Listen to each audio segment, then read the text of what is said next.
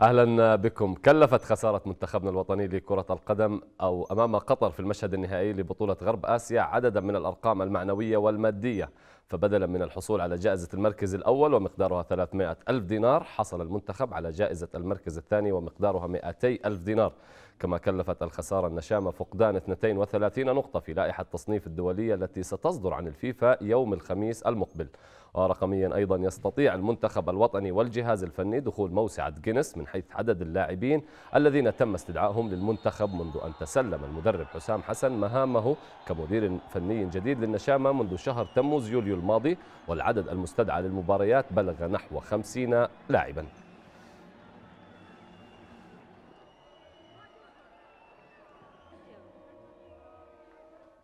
واصل منتخبنا لكرة القدم تحت 22 عاما تدريباته على ملعب الروسيل في العاصمة العمانية مسقط في إطار التحضيرات النهائية للظهور المثالي في النسخة الأولى من كأس آسيا التي تقام في السلطنة خلال الفترة من الحادي عشر وحتى السادس والعشرين من الشهر الحالي.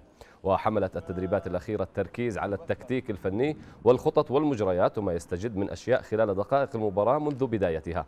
كما طالب الكادر الفني من اللاعبين ضرورة التجهيز النفسي والمعنوي للمواجهة الأولى السبت المقبل أمام الكوري الجنوبي. في افتتاح البطولة. سريع سريع. وصل أمس إلى عمان المدير الفني الياباني للمنتخب النسوي لكرة القدم أوكاياما بعد إجازة خاصة قضاها في بلاده. وينتظر أن يضع أوكاياما بعد التشاور مع الجهاز المعاون تفاصيل وخطط البرنامج التدريبي للمنتخب الذي يستعد للمشاركة في نهائيات كأس آسيا للسيدات بكرة القدم التي تستضيفها مدينة هوتشيميني الفيتنامية خلال الفترة ما بين الرابع عشر وحتى الخامس والعشرين من أيار مايو المقبل. ويلعب المنتخب النسوي في المجموعة الأولى إلى جانب منتخبات فيتنام المضيف واليابان بطلة كأس العالم سابقا وأستراليا حامل اللقب.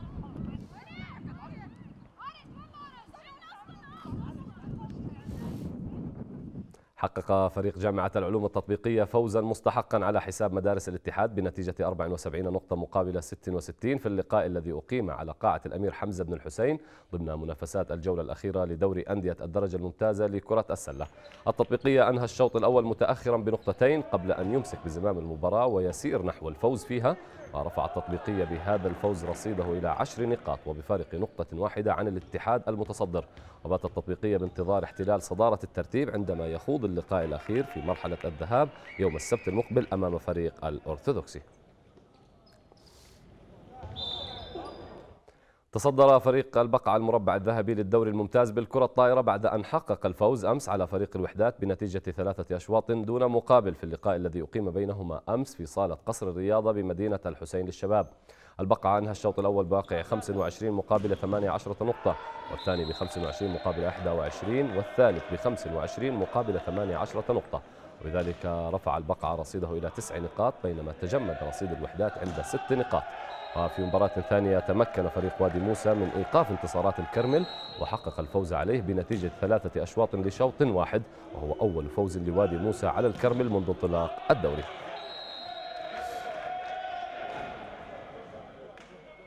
أحرز جيمس هاردن 38 نقطة وأضاف دوايت هاورد 20 أخرى ليسهما في فوز هيوستن روكيتس على ضيفه لوس أنجلوس ليكرز ب 113 نقطة مقابل 99 ضمن منافسات دوري كرة السلة للمحترفين ال NBA الفريق الضيف بدأ المباراة بحماس وتقدم بفارق أربع نقاط بواقع 28 مقابل 24 بنهاية الربع الأول.